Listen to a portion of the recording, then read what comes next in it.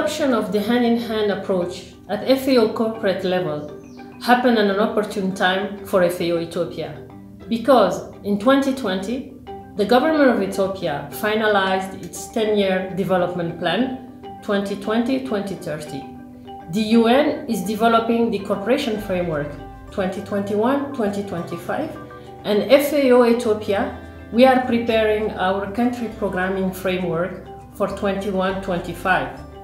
All the plans demonstrate that the government of Ethiopia and partners commitment to ending hunger and reducing poverty, key objective of the Hand in Hand initiative.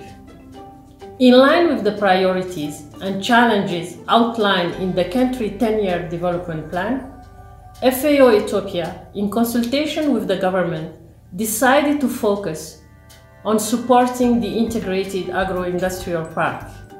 The idea of launching the Hand in Hand initiative in Ethiopia was discussed with senior officials in the Ministry of Finance and Ministry of Agriculture. It was received positively and with a lot of enthusiasm. A number of potential initiatives were considered before settling to start with leveraging FAO Ethiopia's work around the government flagship integrated agro-industrial parks. The country office is also using the hand-in-hand -hand initiative approach to maximize benefit of its ongoing work in support of the implementation of the livelihood component of the government social protection component.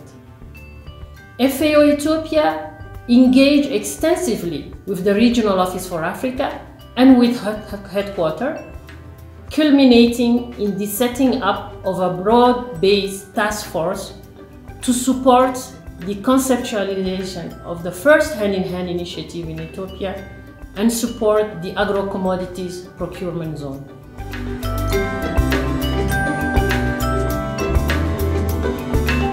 The hand-in-hand -hand initiative is different from approaches used before to support the development of the Ethiopia agro-commodities procurement zone.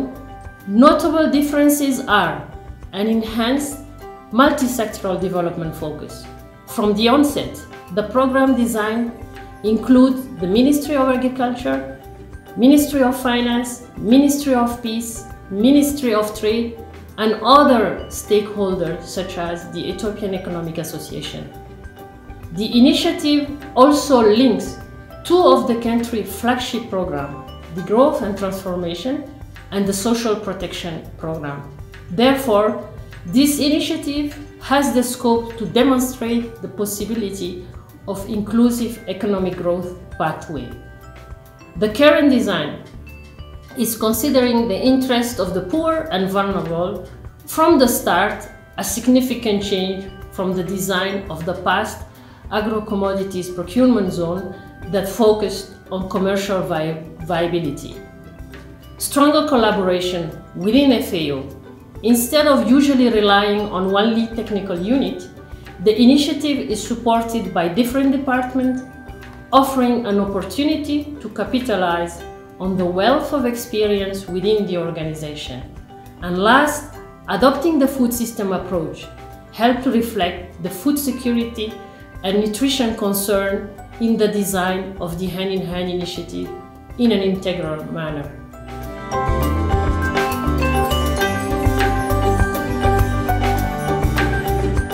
The initiatives offer FAO Ethiopia an opportunity to strengthen partnership with other line ministries and government agencies, such as the Economic Association that I just mentioned, Ministry of Peace, Ministry of Trade. There is a strong positive energy behind this initiative, with FAO staff across department working together at all levels to support the country office. The decision to select an intervention was not easy, given the substantial support provided by the various departments on all the ideas we consider. The major takeaway is that when the rich and extensive knowledge within the organization is connected with the field program, it is possible to design better program, provide stronger policy support to change the lives and livelihoods of rural people.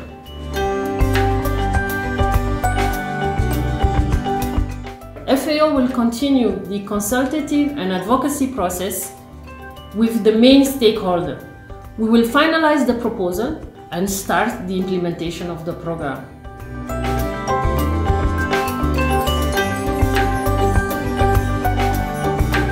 Ethiopia has many technical and financial partners and a strong political will to implement programs that end hunger and reduce poverty.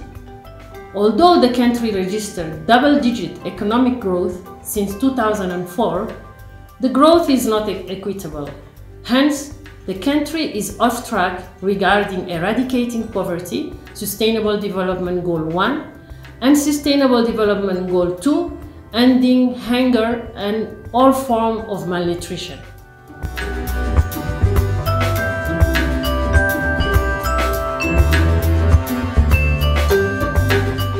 It is too early to give recommendation. However, countries in similar contexts should start advo advocating for the initiative with senior government officials and most importantly, identify potential entry points.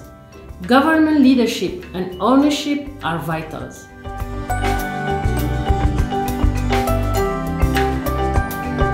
The initiative is aimed at strengthening the government of Ethiopia capacity to carry out agricultural investment, planning and promotion, therefore catalyzing on investment. The country office anticipates that FAO at all levels will continue to support the government of Ethiopia investment drive, leveraging the expected result of the Hand in Hand initiative.